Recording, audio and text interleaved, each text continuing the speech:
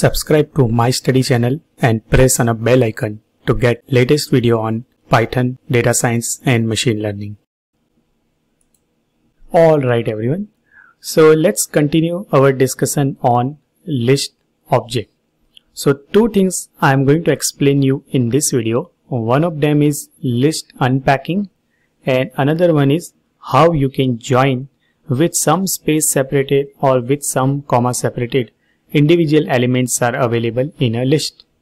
So let's just create one list. Let's say L1.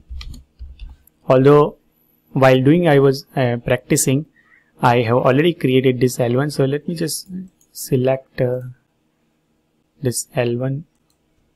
So it has I, let's say love and let's say Python. Now we can assign this whole list with some single variable also and that will be a list object. Instead of that let's say if you want to assign it to the three different variable let's say x1 x2 and x3 so in that case you can just simply put x1 comma x2 comma x3 and you can see three variables got created x1 x2 and x3 respectively i love and python got assigned to x1 x2 and x3 so that is called as a list unpacking. Let's see about the how you can join this individual element in a string. Suppose i want to join this i love python with some space separation.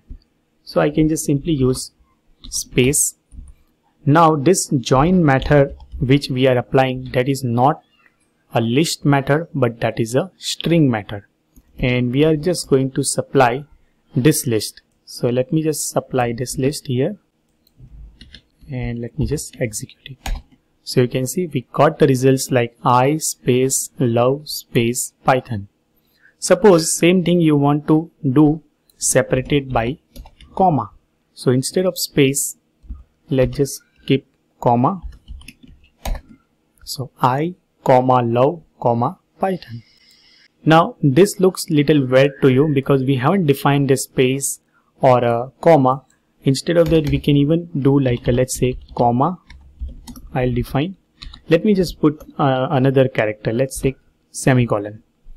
And now instead of this part i'm just going to put here comma. And let me execute both of them so you can see now things are separated with a semicolon. So I semicolon love semicolon Python. Alright. So that is all about this video. In this video we have seen how you can unpack this individual element or how you can join with some kind of space separation or a comma separation.